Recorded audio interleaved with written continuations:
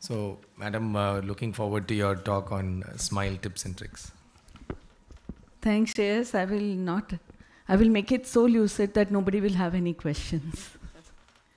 so I'm going to be talking about tips and tricks of improving refractive outcomes in SMILE. Since there is a renewed interest, uh, there are a lot of people now doing SMILE and also other companies coming up with SMILE-like treatment. I think this is a very relevant thing to learn. So just like any other refractive surgery procedures, the first important thing is to have a proper patient selection. Because unless you have selected your patient properly, you are not going to ultimately get the correct result.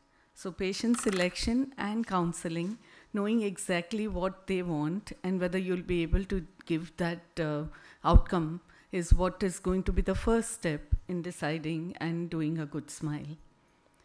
Coming to the procedure itself, the important step to learn is to do a good centration because you are going to create a refractive lenticule and therefore centration here has a lot of meaning. Unlike when you are making a, a flap which can be decentered slightly and would not really have a big impact on the final outcome. Here centration eh, plays a very big role for that, it's important that you are checking. Um, so what I do is I don't uh, open the eye till I'm quite close to the, the contact glass.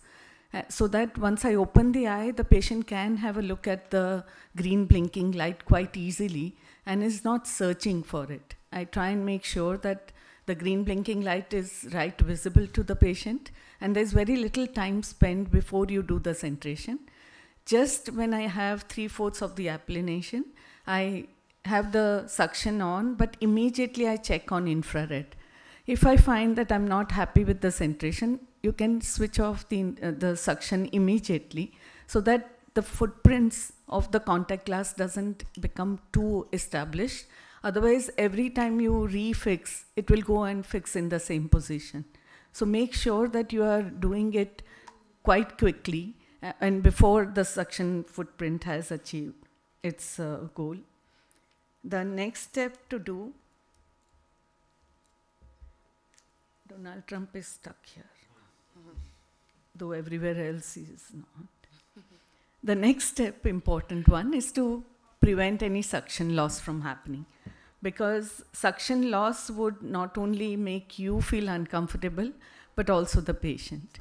So suction loss prevention can happen only if it is going to be that you are paying full attention to the procedure. Suction losses are not very common because the lasers have become very fast.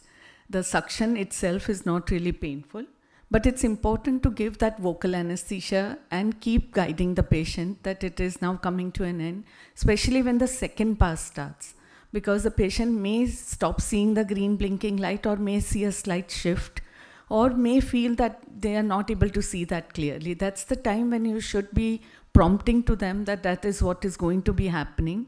And so nothing to worry. In some ways, if you can keep them occupied, uh, the the most times what I do is I ask the patient to think of a very happy moment that they had in life and you would not believe they spend that entire 25 seconds thinking about what was the happiest moment and, and don't even realize that the procedure is over. On the other hand, if you try and tell them that, find out the most miserable moment that you had in your life, they would have like uh, at least a 25 to be told to you within those 25 seconds. So it's better that you keep them thinking about the happiest moment and let then this procedure be one of the happiest moments for them. Uh, it's also good to learn the initial separation because that, that makes uh, lives very simple uh, when you are trying to extract out the lenticule. So in initial separation, it's important to find both the planes uh, quite early on so that uh, before all the tissues become dry, what most of us do is to create on one side the upper separation and on the other side the lower separation as you saw here. And then it's very easy because you can make out whether you are in the correct plane or not. Uh, it's also a good idea to separate out the complete lenticule so that it's a free floating lenticule inside, and then you don't really need to go in to uh, take it out. You just take it out from the incision site itself, and then you are not disturbing much lamellae. And finally, the free lenticule just needs to come out. So uh, as you can see, the separation is very easy. This is just a simple spatula. You don't even need fancy instruments to do the procedure. Uh, make sure that you're not, you don't keep coming, going in and out all the time because every time there is a potential of taking epithelial cells with you, especially if the person is on a little older because they have tendency for uh, having a, a slightly freer epithelial tissue. And once you have a complete separation like this, you can just grab it from the uh, from at the incision site itself. And finally, you should have uh, a good wash and an ironing on top. So I don't like to go inside the pocket as far as possible unless I have done a lot of manipulation inside. But otherwise, giving good wash from outside and hydrating the lamellae is an important thing and finally making sure that the incision is sitting well. The, uh, the eye actually smiles back at you at the end. So thank you very much. I hope I've saved a little time for you.